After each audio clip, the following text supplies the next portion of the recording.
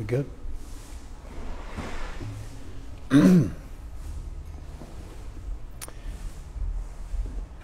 um,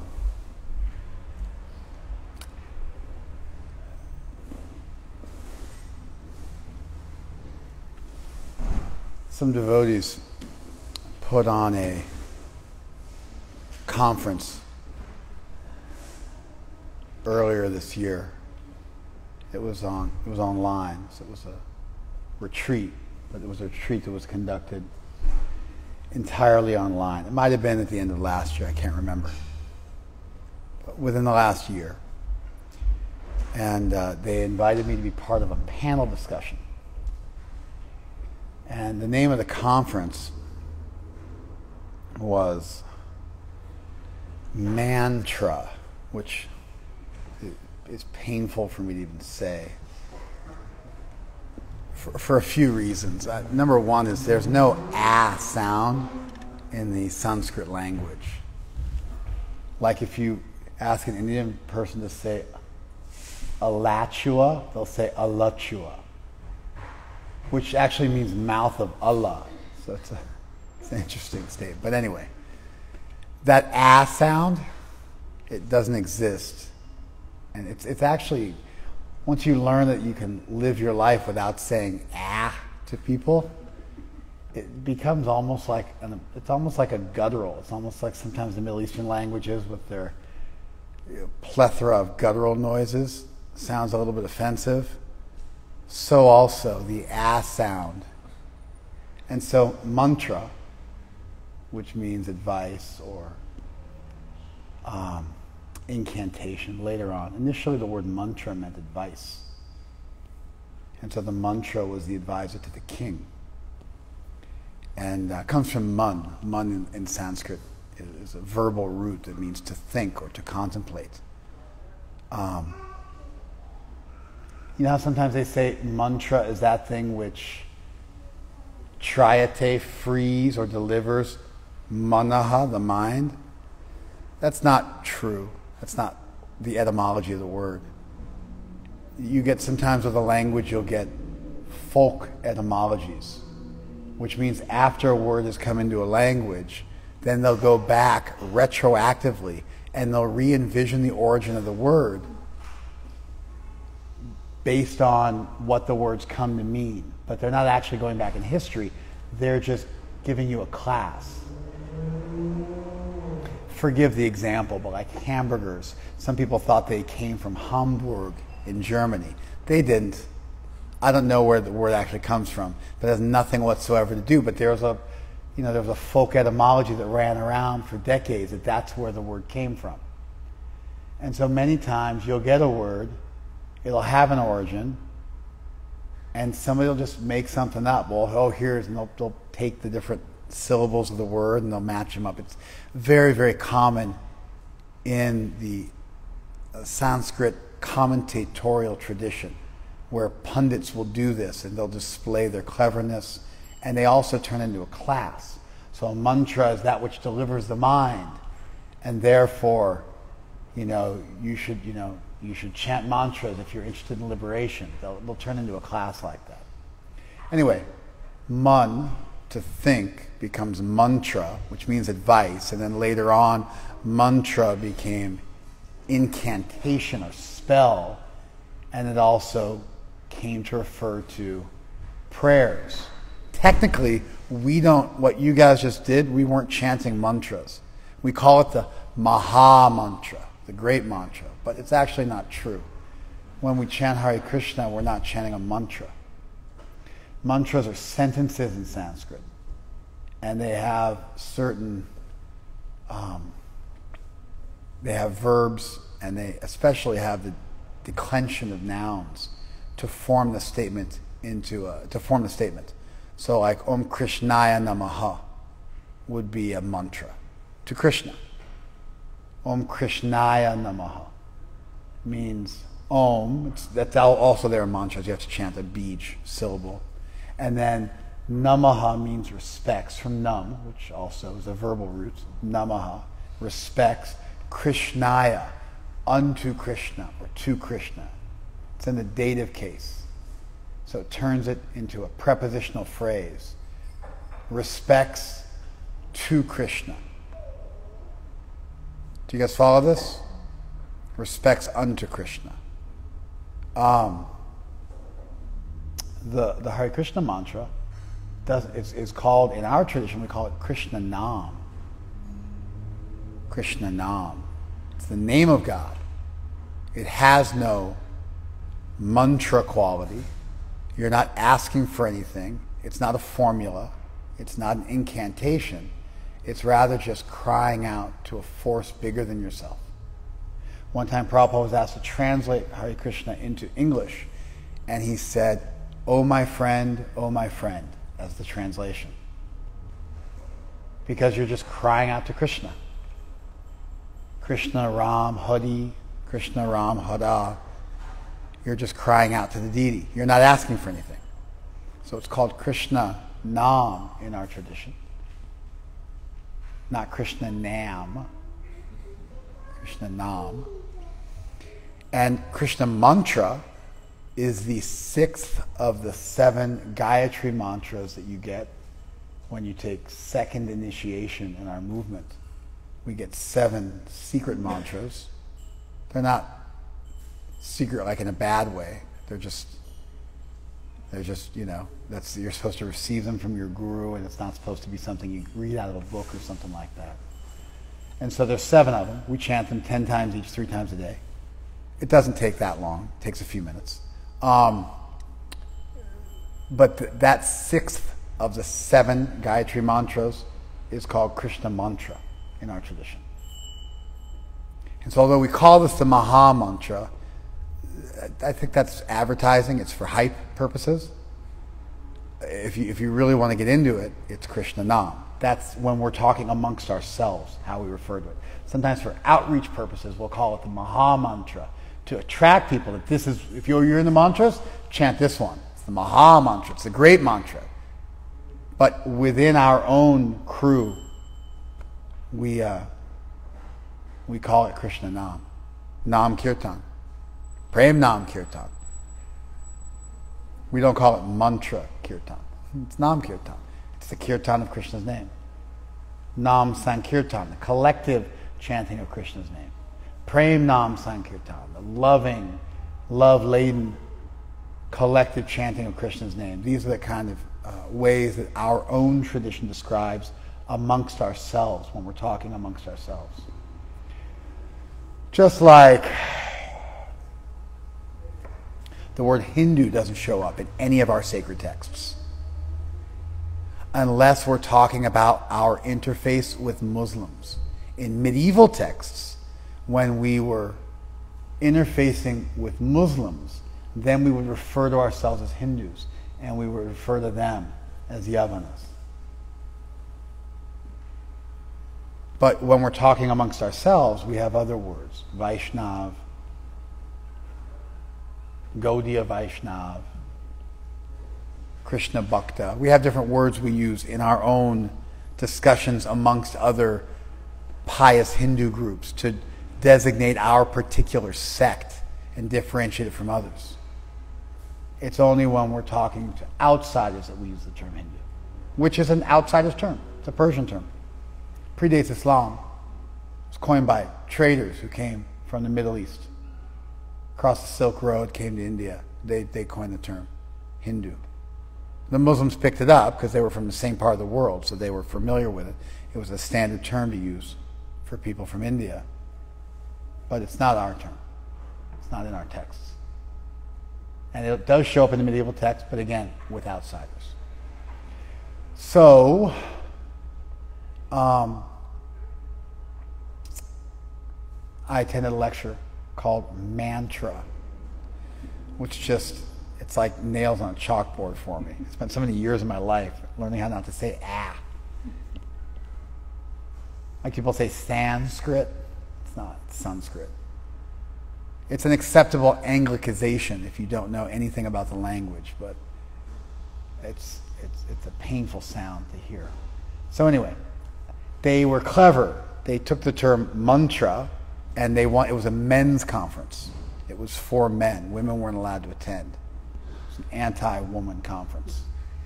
Just kidding. It was a men's conference. It wasn't anti-anything. It was pro-men. It wasn't anti-women.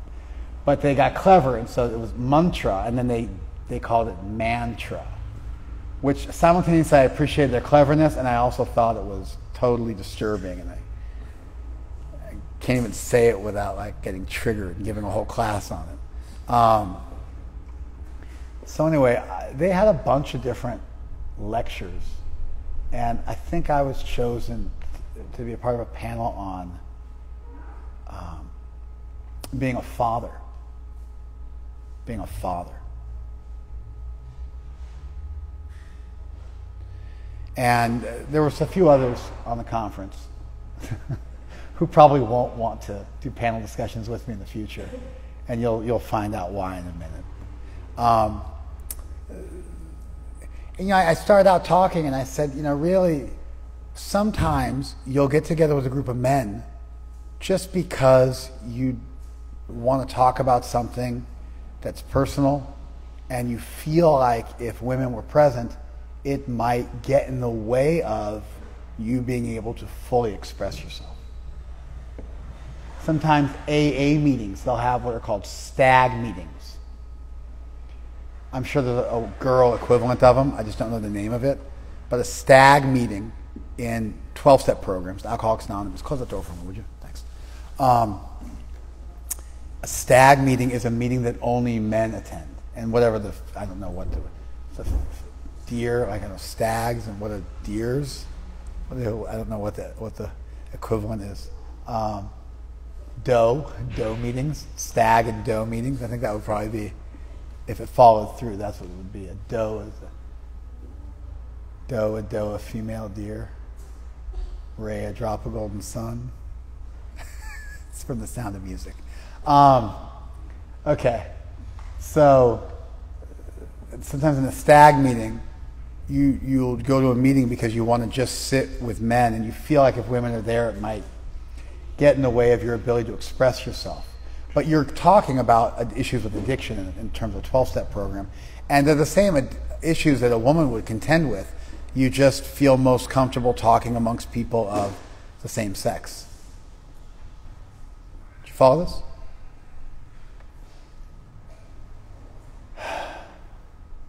But the topic of the conversation was fatherhood. Fatherhood is not parenthood. They could have had a men's conference and had a discussion on parenthood. And then it would have been us talking about parental struggles, but we want to do it with a bunch of other men. You follow? But they chose to say the name of the conference was Fatherhood. Fatherhood, the very term, means women are left out women can't be fathers. Only men can be fathers, just like men cannot be mothers.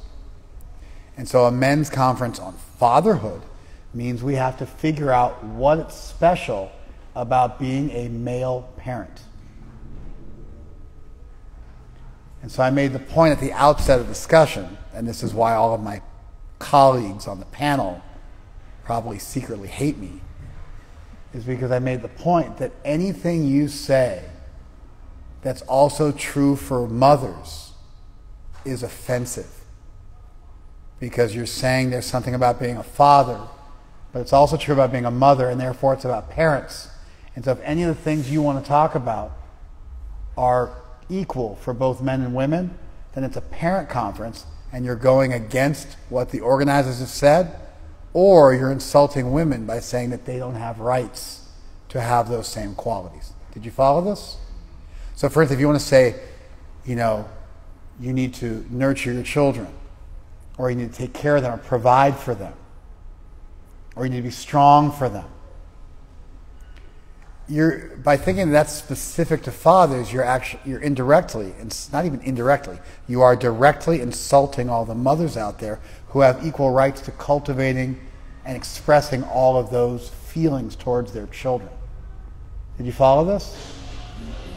So I started at the beginning and I said anything anybody says that's not specific to men, and it could also be true for women,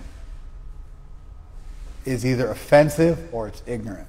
And then for the rest of the class, every single person who spoke came up with stuff that was true for women, and, and everybody would get it. Wait a second, that's also true for women. And I set those parameters. I didn't set them. The people who made the conference set them. They just didn't think about it clearly enough. And so, yeah. Are you guys with me? You following us? So, what is it about being a father? Today's Father's Day. I was probably chosen for the panel discussion because I have six kids. So, you know, I'm automatically chosen. It's like if you're a World War II vet, then you know, they automatically give you a medal and call you up and ask you to speak a few words simply because everyone from World War II, practically speaking, is dead. And so the only, like, if there's four vets left in a state, they, you know, they get honors every time they go to a conference. So, what is it about being a father that's different than being a mother? And of course, a, sim- a simpler prerequisite form of that would be what is about being a man that's different than being a woman?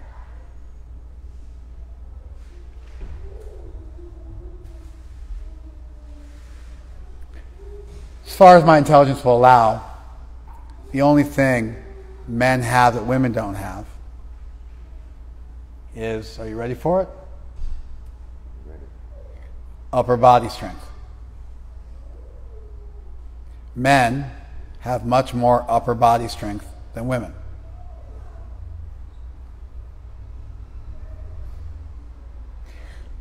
Generally speaking, when it comes to posterior chain strength, the strength of your the back of your body, which is involved in every, almost every athletic movement you make.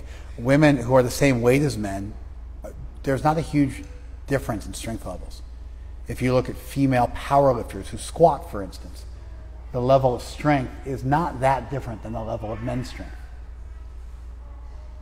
They have a slightly higher percentage of fat because of, of, of breast material, which of course is what gives men their advantage in upper body strength. They don't have to they don't have to lactate.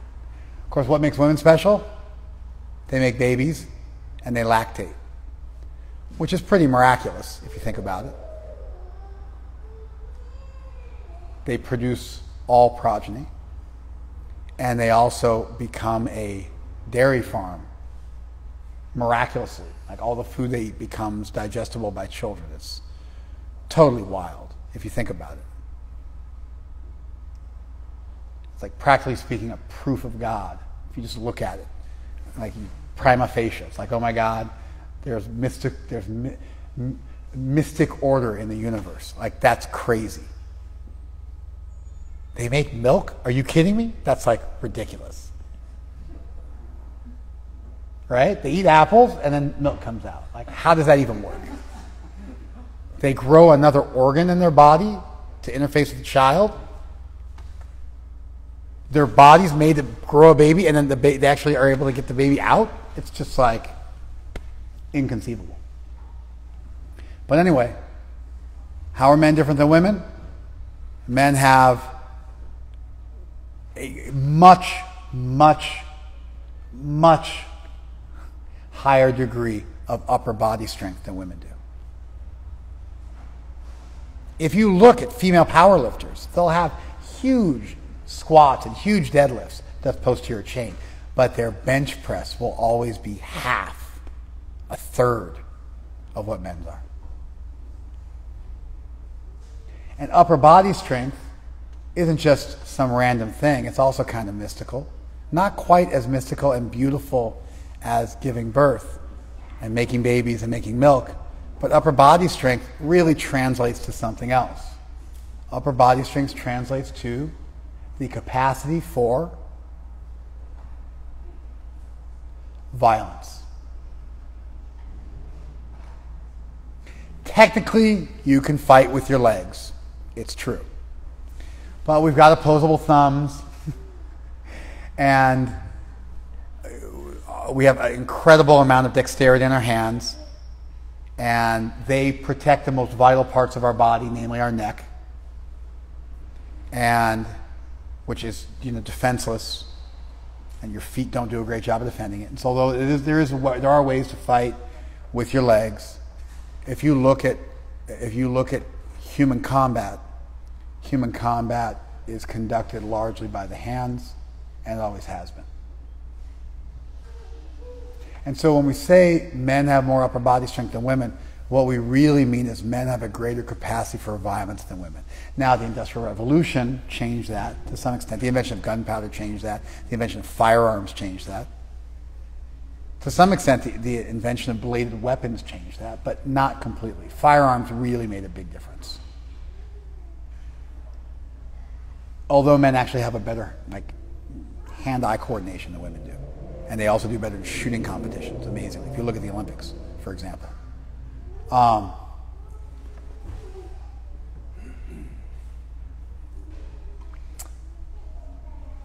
so, yeah, men have a greater capacity for violence. Now, violence isn't a bad thing. Violence makes you dangerous. Danger isn't a bad thing. Dangerous is bad if the person who's dangerous is your enemy. The quality of being dangerous if the person is your friend is very valuable. Because if your friend is dangerous, then they can protect you. Therefore, men are different from women because of upper body strength. Upper body strength is synonymous with capacity for violence. Capacity for violence makes you dangerous, and being dangerous makes you capable of protecting. Do you guys follow that? That's how men are different from women. That's how fathers are different than mothers. What's dangerous? Huh? What's dangerous in this context? Like, what do you mean dangerous? Dangerous means capable of hurting other people. Synonymous with violence. It's just, I tried to, I wasn't really running. I wasn't like moving very far. I was just using synonyms to flesh out my point. Capacity for violence makes you dangerous of hurting somebody, because that's what violence means. And that makes you an asset to the people that you're stopping people from hurting. And that creates protection. And therefore, protection is the consequence of the capacity for violence mixed with some compassion or love for people or affection for people. Do you guys follow this? That's what makes fathers different than mothers. Men used to be the breadwinners, the earners. But that doesn't have to be the case. Now, if you arm people, then you know a gun is just a whole different ballgame. And so now women would have an equal capacity for violence as men. The problem is if you arm women and they have a gun and that gun creates the capacity for violence, then they have to introduce lethal violence at every step. Which is a problem. If you're a police officer and you get into a scuffle problem, and your only alternative, your only option is to introduce lethal force, namely a gun, then every encounter is potentially a lethal encounter. Do you guys follow this? Capacity for violence can be mitigated. It can be, it can, uh, excuse me, capacity for violence can be created with the introduction of weapons. But then what happens is those weapons now introduce a lethal element into every confrontation. And as soon as a police officer pulls a gun on somebody, they don't get to put it away and then fight with them. Once they pull it out, it doesn't go away unless the threat is mitigated. And if the person continues to approach them or, or behave in a bad way, the only thing they can do is, is shoot them. And so when you get when you arm a police force, for instance, with guns, if those people aren't also capable of non-lethal force, if they aren't big and strong and they don't have a capacity for non lethal violence, then every encounter is either zero to 100. You're having a conversation or you pull your gun because you can't get in the middle and mix it up with somebody in the middle using non lethal force. Do you guys follow this? It's an objective argument, by the way, why men may be better suited for police work.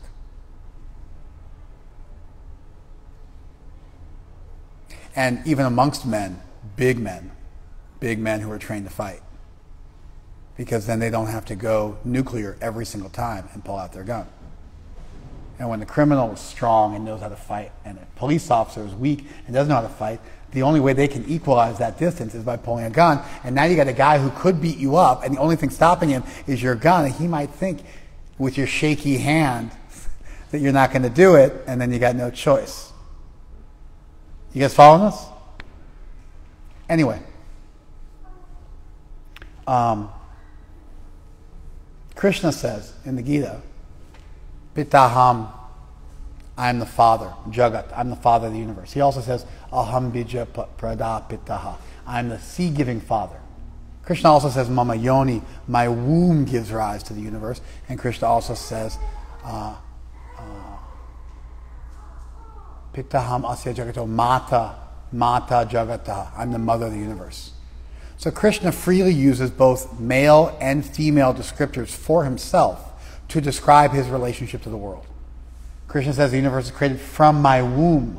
He also says, I'm the seed giving father. So in both of the elements, Krishna is claiming that. So using a sexual metaphor for the creation of the world with a, with a father and a mother, Krishna claims both. My womb, I'm the seed giving father.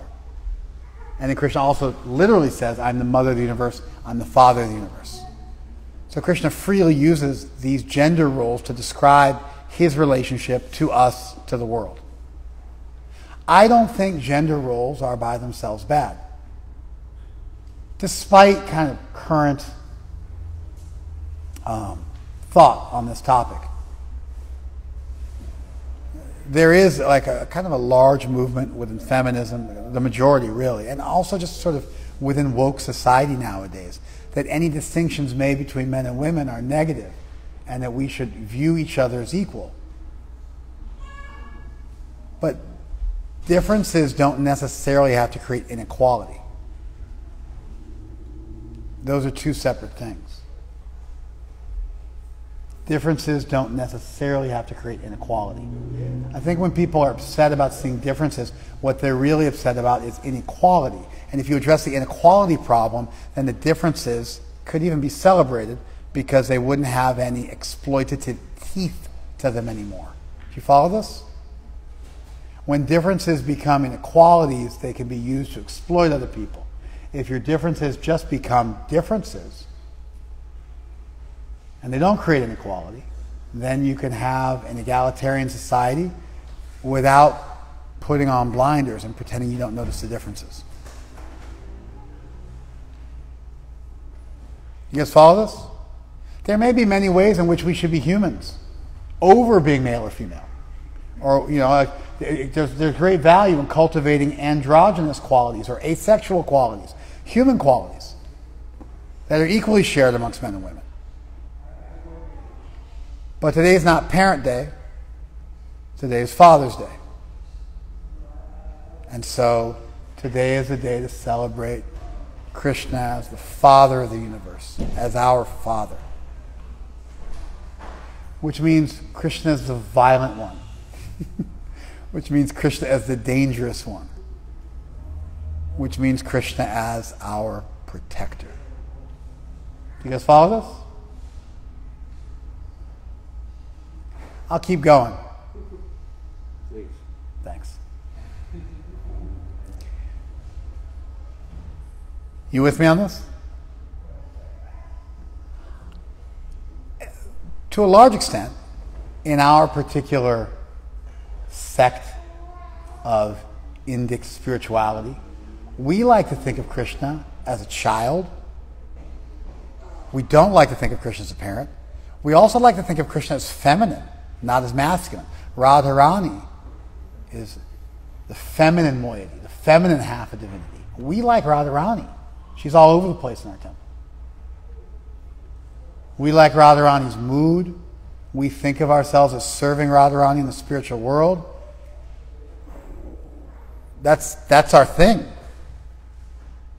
And we don't even like thinking of God as a parent. We like thinking of God as a child because we've done this math that it's better for cultivating love. If you stop looking for your deity to do things for you and you instead try and do things for your deity, and so who do we do things for without asking for anything in return? For our children. And so we like to think of God as a child and as female.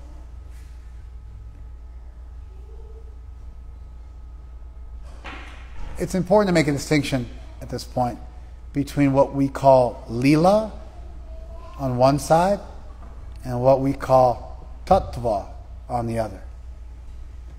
Tattva literally means thatness. Tattva. Tva means ness, and tat means that. So tattva means something which has thatness, something which exists, something which is true.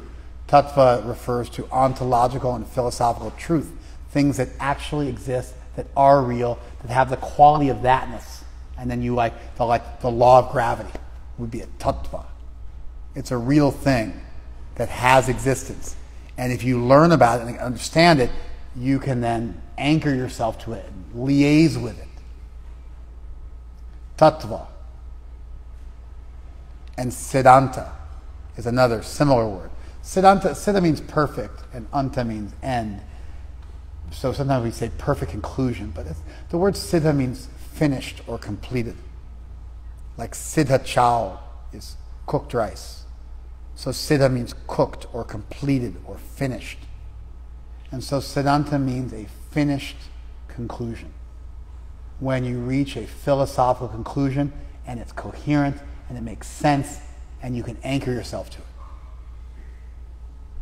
So philosophical truth on one side, and then lila and Ras on the other side. Lila and Ras are the feeling you have towards God, the sweet feelings you cultivate towards the deity, and the way you envision ecstatic exchanges with the deity. This is lila and Ras. I don't want to spend too much time on the words because we spend the rest of the class just defining those words. Um, Krishna as our Father is not so much about Leela and Ras. It's more about Tattva and Siddhanta. And in the beginning, this stuff's important for us. For instance, cultivating faith that Krishna will protect me. Rakshishati Vishwas, one of the six symptoms of surrender that were written down well over a thousand years ago by the Sri Vaishnavas that we borrowed when we were coming up with our tradition five centuries ago. Rakshishiti Vishwas. Rakshishiti. Rakshishati. He will protect. Iti. This is like, I think he will protect me. Vishwas. That faith. The faith that Krishna will protect you. Krishna says as much in the Gita. Mamikam Sharanam Braja. Take shelter of me. Aham tvam sarva pape bhya mokshayishami. I will deliver you. Mashucha, don't fear. Yogakshemam vaham yaham. I'll carry you what you lack and protect what you have. Krishna makes these type of protective statements in the Gita, and generally you find these type of protective statements all over religious literature anywhere in the world.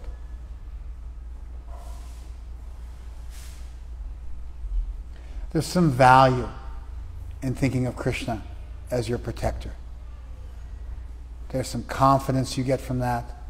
There's some solace you get from that. There's some fearlessness you get from that. There's incredible value in this. It's a little bit like what's in it for me. Were you listening on your way in? Yes. It's a little bit what's in it for me. So we don't try to spend too much time here. And we, we have to cultivate that feeling that Krishna will protect us so we can really surrender and let go and let God and be a part of something bigger than ourselves. And then we try to, before that becomes everything, we try to switch it and turn it into ask not what your country can do for you, but ask what you can do for your country. And we try to start to think about how we can serve Krishna, how we can love Krishna. And then we start to envision Krishna as a child. Or we cultivate more of a nurturing relationship with divinity, more of a love based, less of a fear based, in which case Radharani becomes more prominent in our minds, or at least Radha and Krishna together as a combo. But if you're honest, most of us are not in a place where we can exclusively think about God as our child and selflessly serve. Most of us are not in a place where we can exclusively think about the nurturing aspect of divinity. Most of us still suffer from fear on some level. If you suffer from fear on any level, anywhere in the world, at any time, then you need to also think of the deity as powerful, as violent, as capable of protecting you, and therefore functionally as a father. If you think of Kali with her, you know, with all of her weapons, it's still a father figure. it might be a feminine form, but the whole point of Kali is she's a subversive deity. And the female is taking the role of a male. That's the whole point of Kali. And so all those weapons in her hands that protect you, that's her acting as a father figure. So, irrespective of whether it's a male or female form of divinity, the actual act of protection is a masculine act. Based on, just it boils down to like upper body strength. And for the deity, that becomes omnipotence. Krishna has unlimited hands. Every has unlimited upper body strength, he can protect you from all sides.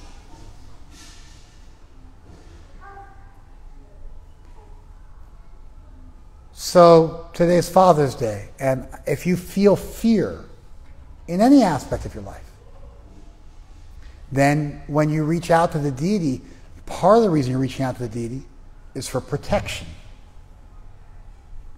And therefore, you need to think of the deity as your father.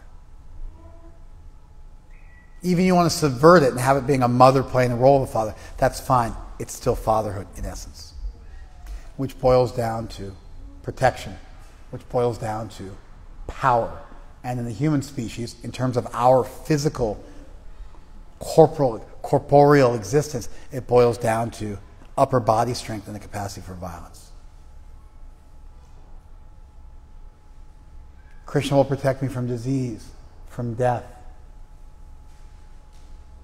from other people that are more powerful than me that I can't protect myself from. Krishna will provide for me those sentiments towards the deity, everyone has to pass through that village on their way to pure love.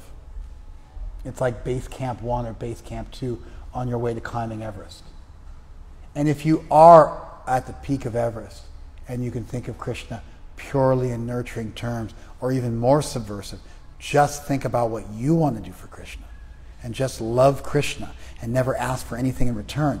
If you've gotten to that level, then you will appreciate Base Camp 1 and Base Camp 2, and you'll know that those are necessary places for everybody to go through on their way to climb Everest, and you won't ever decry or criticize them. You'll see the value in it the value of a powerful deity, a deity capable of protecting you from all the things out there in the world that, that give you fear, to create some confidence, some lack of fear, such that you can begin to cultivate those finer and higher sentiments on that scaffolding. And Krishna's Aishwaryatva, or his Bhagavatva, his power, essentially, according to our theologians, runs like the Saraswati River through all of his pastimes.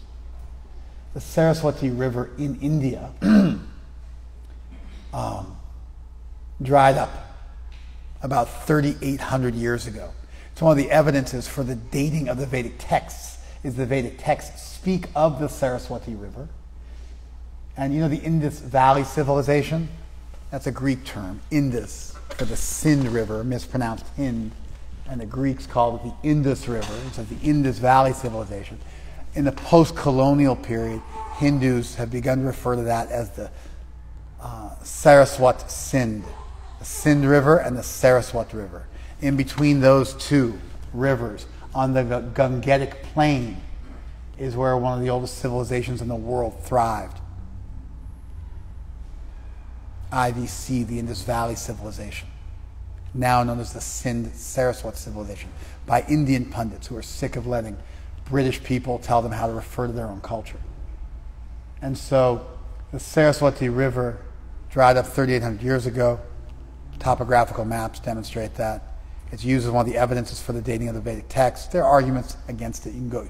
There's different like arguments back and forth on the subject, but um, that Saraswati River dried up a long time ago, and so, but it's a sacred river, so we say it never dried up. We just say it's flowing underground. It's there, even though it's not there. And when you go to the Triveni Sangam, when you go to Triveni Sangam in Prayag, renamed by the Muslims as Allahabad in central India, northern India, the Triveni Sangam is Yamuna, Ganga, and Saraswati. But there's actually only two rivers there. There's Ganga, Yamuna are there. They come from Gangotri and Yamunotri up in the Himalayas. Not so far from Badrinath where we go. Same thing, but just a little bit westward.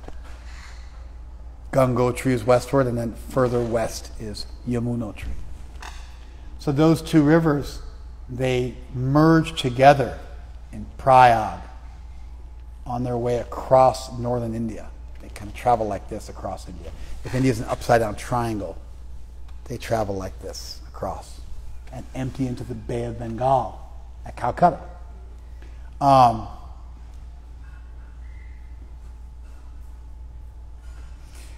but we say, no, no, no. When you bathe at Prayag, all three rivers are there. The Saraswati is underground. So one of our theologians says that Krishna's Bhagavatva, his power, his Aishwaryatva, his power, runs through all of his pastimes. You love Krishna however you want, he'll still pick up Govardhan Hill to protect you. And for thousands of years, our tradition, who worships Krishna as a child and just thinks about what they can do for Krishna, this Govardhan Leela of Krishna saving his devotees and protecting them in their moment of need, it to this day is like the core of our heart, is our confidence in that. It's a core element of surrender, is this feeling, Rakshishati Vishwas, I believe that Krishna will protect me. Goptritve Varanam, I believe he'll provide for me. It's another thing sometimes associated with fatherhood. It could also be motherhood, especially in a post-industrial period. Um,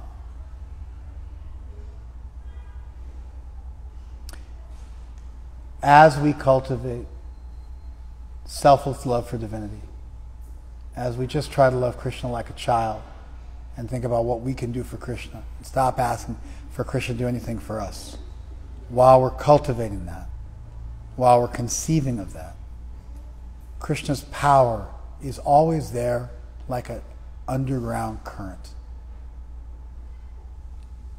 And therefore, devotees are fearless because they passed through that village, that realization, and they developed the faith that Krishna will protect me because he's the sea giving father, because he's the father of the universe, because he's powerful, because he's unlimitedly powerful, because he has unlimited strength. We, we, we have to pass through that realization. We have to own that realization. We have to imbibe that realization. It has to go deep inside us and become part of our marrow. It has to get inside our bones and become something we never forget. And then with that, we can then move on to higher and higher ground on that strong scaffolding. It'll support us as we cultivate Ras, as we cultivate Leela, as we learn to appreciate Krishna in its feminine aspect, as we learn to appreciate Krishna as a child, as an object of love, and then we can cultivate never asking Krishna for anything because we know that if we ever did need anything, Krishna would always be there. If you fall off a cliff, you'll say, Krishna, please save me. Pure devotion doesn't mean you don't say, Krishna, please save me. Vishwanath Chakravarti, our theologian, makes this point. We don't ask Krishna for anything. But this principle of Krishnaika Sharanam, that you always take shelter of Krishna, supersedes that. And so if there was for some reason ever a circumstance where you like needed, then you'll cry to Krishna, like with Kalia, like during the Govardhan Leela, like when Jatila comes to discover Radharani and Krishna having pastimes together, and Krishna turns into the deity of the sun. Radharani is offering Krishna flowers, and then Jatila comes, and Radharani getting in trouble, and Krishna turns into the sun god. And Jatila thinks, oh, look, my daughter is worshiping the sun. This is very auspicious, and then leaves. And so Krishna's power, his Aishwaryatva, his Sarvagyata, his all knowingness, his power is always there. So on a day like today, as we appreciate the father figures in our life, as we appreciate, sometimes we need father figures. Sometimes our fathers know more. Sometimes our father was not very fatherly. So then we need father figures in our life. And what are father figures? They're protectors. That's what they are. And you feel um, safe. And without feeling safe, you can't do anything else.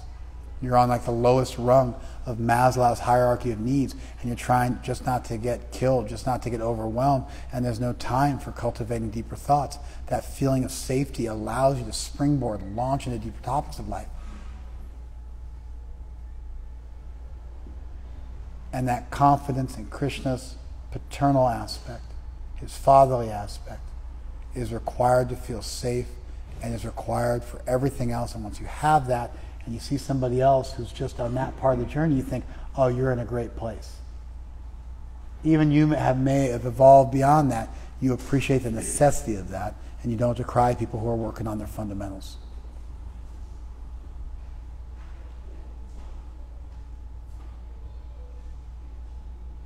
These are some thoughts I had around fatherhood, the deity, our sacred texts, our tradition, the value of it, where things go wrong, when differences become inequalities and exploitation, how people at a higher level can appreciate people at a lower level, how people at the lower level can feel like they're going to eventually get to the higher place, how to move through something without becoming caught up in it, how to not throw fatherhood. Oh, and by the way, if you enjoy the protection of your father figure, then when you grow up, you become the next generation's father figure. You follow this? My son wrote this to me today. He's not here. My eldest son wrote this to me today.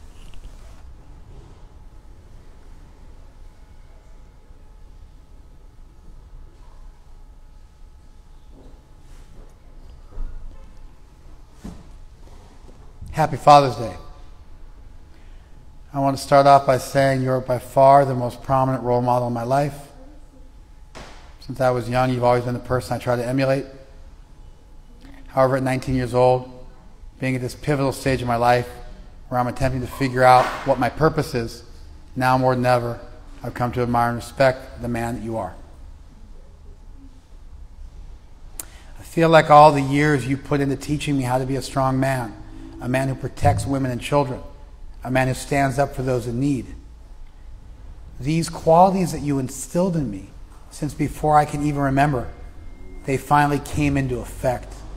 Something happened, and my son had to stand up to somebody who was an abuser. And my son had to put himself in harm's way just a few days ago and chastise this person. He's referring to that. It's, he speaks about it. I skipped over that part because I want to speak about the details. They came into effect. While thinking about the situation, I had the thought that to some minuscule degree, I finally followed in your footsteps. Because, Dad, above all else, you're a protector.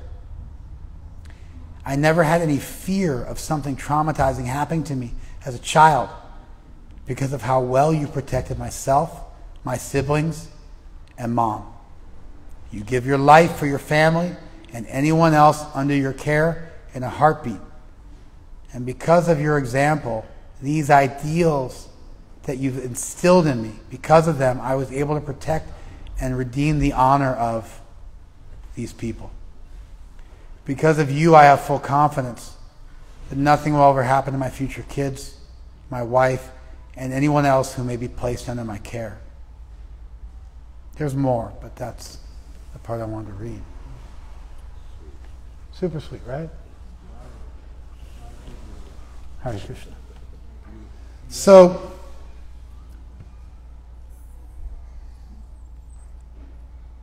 as children, we need to enjoy the protection and the safety that our Father provides. And safety ultimately boils down to there's someone capable of violence watching your back, so therefore nothing's going to happen to you. And that safety allows you to move forward with confidence, free of fear, and achieve many wonderful things in life. If you didn't get that safety growing up, therapy essentially consists of going back and finding father figures and elders and mother figures and having them do a repeat for you. Whereas an adult, you cognitively go through that growth so that you then have that.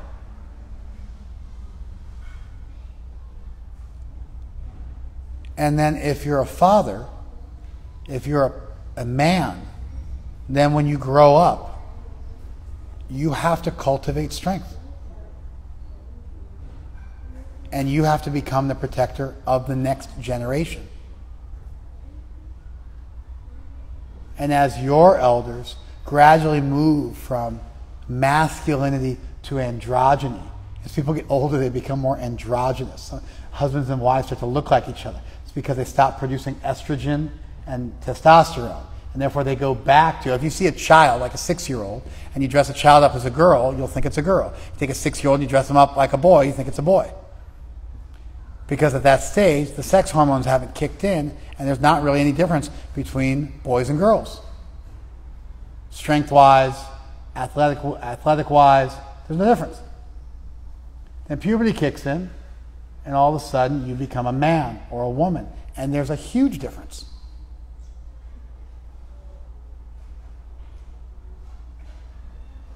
And then as you get older and you, you get to the, the, the menopause or manopause, you get to this post sexual stage of existence, you really move back towards the androgyny of your childhood.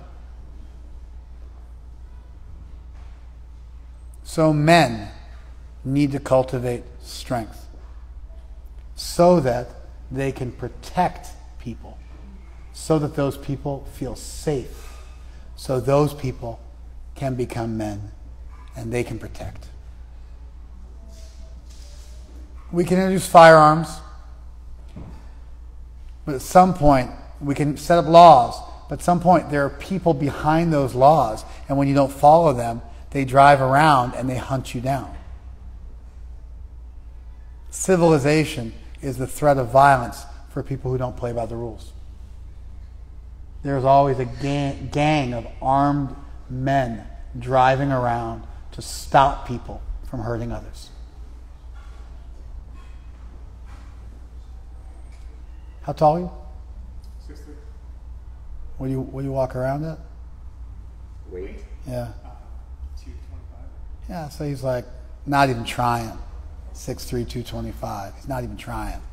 He's like not even lifting weights. He's just like hanging out doing a little yoga.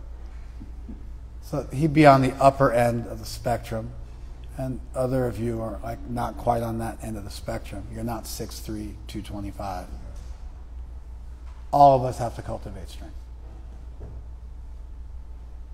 So that the people who are in our vicinity are protected. And then by doing that, we pass the baton to the next generation of men. And instead of being exploiters, they become protectors. Instead of being dangerous to innocent people, they become dangerous to criminals. And the world becomes a better place. There's a place for fatherhood in the world. There's a place for masculinity in the world. It doesn't have to lead to exploitation and inequality. For these reasons, Krishna freely makes use of sexual metaphors to describe the nature of his relationship to the world and to us. He's our father, he's our mother. He's the father of the universe, he's the mother of the universe. There's value in these ideas. There's always been value. There always will be value. We might be able to equalize the playing field to some extent. But these things will, are always going to be there. They're there in every species, they're there in all social mammals, and they're there in human society. Instead of hating it and trying to bury our head in the sand, we can own it, rise to the occasion. We can become a generation of men, and we can spawn a generation of men, pass the baton. And reading that for my son was like a big deal. Not because of the appreciation he had for me, but because I realized that at the age of 19, he's the next generation. It just happened. He's a protector. He's a man. Okay, those are my thoughts. I, there's a couple of minutes. You guys have some feedback for me? I was just thinking that Yes, Prabhu. Hang on a second. Go, Paul. Give me one second. There's a Prabhupada disciple here named Prahlad Priya. I'll get to you in just a second, though. we, um, we, Why don't you yell at me because they can hear you? we often referred to Srila Prabhupada as our father, that he was a father figure to us. So some of us who grew up without a real father figure, it, the, the profound nature of meeting Srila Prabhupada and seeing his impeccable character and knowing that we were going to try to become like Prabhupada or to follow in his footsteps. Go, Paul. Can you hear him? Give me a this or a this. This is a quick statement. You can hear him? Okay. Prabhupada exhibited uh, all of those qualities that we wanted to emulate. You know, he wasn't big, he wasn't tall, he wasn't, you know, uh, uh, he was very slight, but powerful. Powerful by his behavior, powerful by his words, powerful by his example. Prabhupada was an ideal father figure. Prahlad Priya Prabhu said that many of the devotees who joined the Hare Krishna movement in the, in the 70s, like him, there's his son, so the next generation is here now. They'll be having kids soon. There'll be three generations in the same room. Um, that Prabhupada was a father figure, even though he was in his 70s, and Prabhupada had a slight build, and what didn't, didn't cast an imposing shadow on people, but he was powerful and he had those qualities of a father. Interestingly, as, as a Vaishnava, we actually cultivate both masculine and feminine qualities. Prabhupada one time said this. He said you have to have he, you have to have the courage of an English soldier and the heart of a Bengali mother. And so within Vaishnavism, we cultivate transcendental qualities, androgynous qualities, nurturing qualities, and protecting qualities side by side. So much of what we do as devotees is we transcend sexuality, masculinity, and femininity. We transcend them.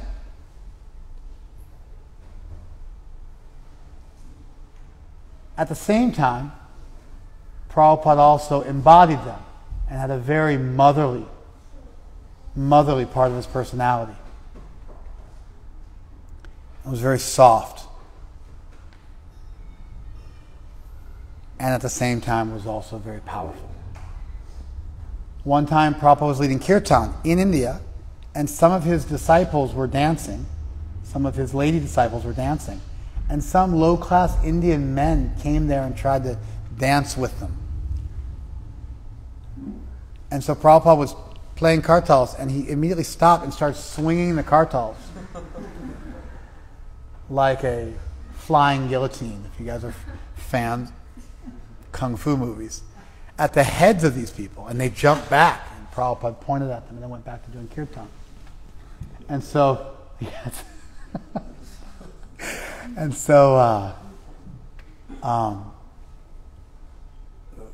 no, nobody gets a pass. If you've got a male body, you need to cultivate strength.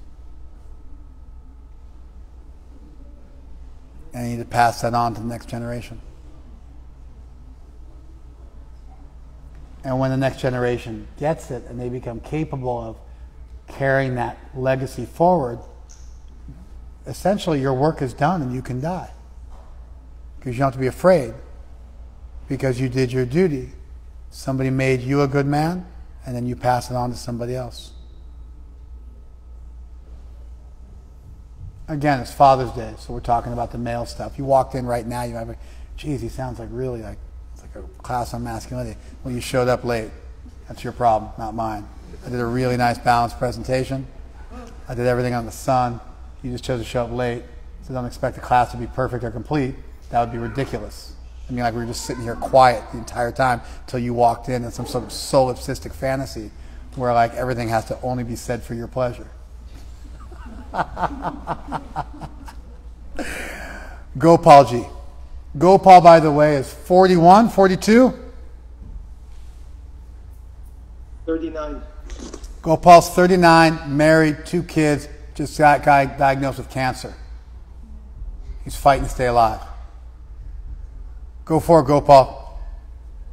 Oh, I, I really appreciated um, your presentation today because um, I feel like most of my life has, has been a search for for definitions of masculinity and, and what it means to be a man. Um, coming up from a place where you know I grew up without a father, so I, I searched a lot for these these father figures in my life. Um, much of the time, Hang on. Hang on. You're at the Sunday feast. There's like 100 people here. Did you guys all hear that? Gopal grew up without a father figure. He spent most of his life searching for father figures. Keep going. And much of that time, um, I, I, would come across the definition of masculinity morphing into, into mach, machismo. Most of the time, when we hear about masculinity, we think of it as machismo, some sort of arrogant, braggart type thing. And that, that was never good enough for me. And, and ironically, it wasn't until I met, you know, the, the Vaishnavas and, and the Vaishnav elders that I actually began to get a, a, a, more clear understanding of what it means to be a man in the world. Ironically, and, uh, he met the Hare Krishna devotees, who we don't present as being super masculine.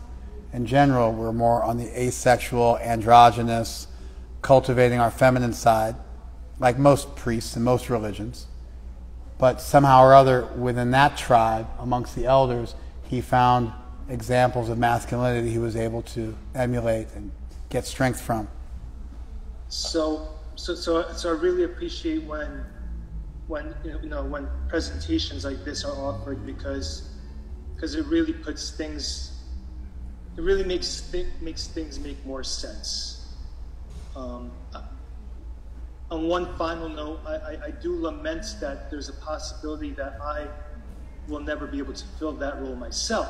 He's lamenting that if he dies of cancer at the age of 39 or 40, he won't be able to provide that example himself for his kids, and he won't be able to pass the baton on the way it's our job to, to take our realizations and pass them on to the next generation. Don't worry, Gopal. It's a good thing about being part of a tribe. We step in, and your wife's good. She'll, she'll pick up the slack, and she's got all of us to lean on as well, and we'll take up that responsibility. That's part of what we do. So, you having come to spirituality, come to such a good tribe of people, means that something happens to you, it becomes our badge of honor to pick up the cross and carry it forward for you. All right. Anything else? Okay. Happy Father's Day to everybody. Thank you.